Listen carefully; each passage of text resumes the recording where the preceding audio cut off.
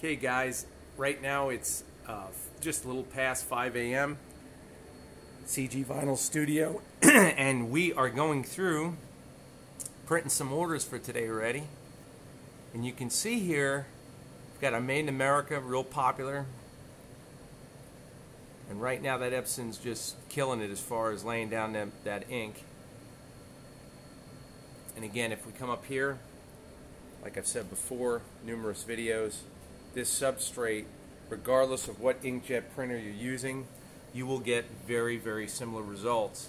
Uh, the biggest thing here to keep in mind is the fact that you want to make sure you're going to use the proper over laminate.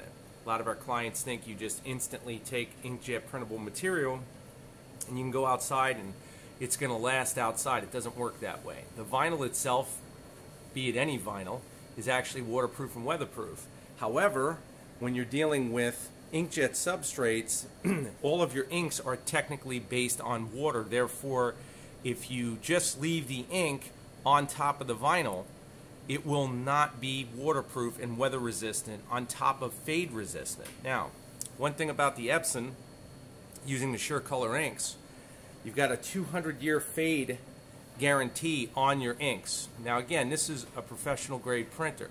For those of you not using Epson SureColor inks, if you do not use the proper overlaminate, let alone for just a weather barrier, you're going to find that your fading is going to happen much faster. That's why an overlaminate is a must. So again, you want your art to look the best, you want your clients to be happy, very simple money to make if you understand the concept that you do require a two-step process, no different than painting which would be for painting a base coat and then a clear coat over a car's paint job or motorcycle, is the same principle with the printing. You want your base coat, which is your actual uh, glossy substrate or whatever substrate you're going to be printing on, and then we go over it with a professional over laminate. And in our case, we prefer the 3M 8518. Now, I don't have to tell you about the quality of 3M. And again, if I pan this camera just a little bit, you can easily see the color spectrum.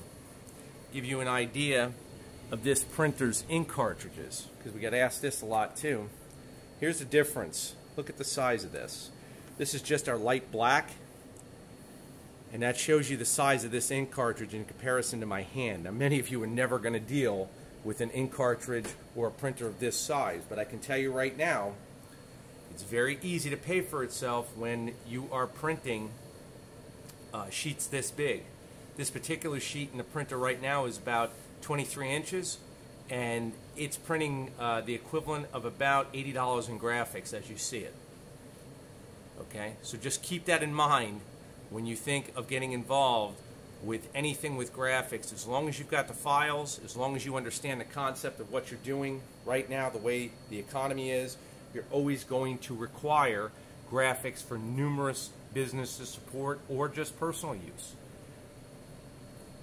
So again, if you guys have questions, please forward them over to Joanna and I. We'll get our we'll do our best to answer them as soon as possible. Thank you again. Take care.